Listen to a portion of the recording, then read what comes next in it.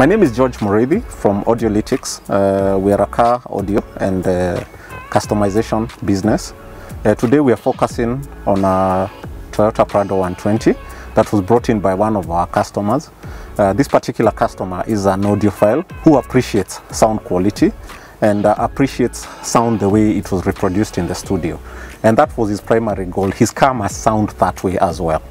So for us to be able to achieve that goal, we actually had to be careful with the products that we picked. And for this particular car, we selected GS series all the way from the amplifiers to the speakers.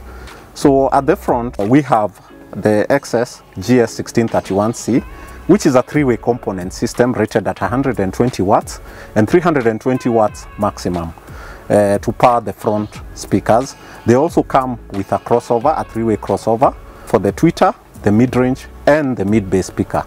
So for the front, the tweeter and the mid-range were actually uh, custom made to fit into the A pillars so that they actually face the front passengers. So we have a one inch tweeter, silk dome tweeter, and then we have a three and a half mid-range speaker at the front.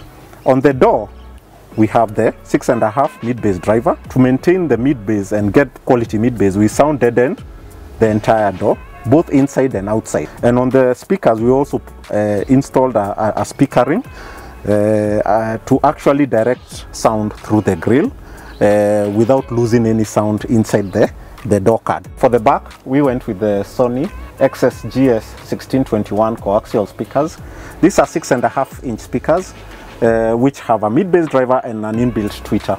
The speakers are rated at 75 watts RMS and uh, 320 watts peak for short periods.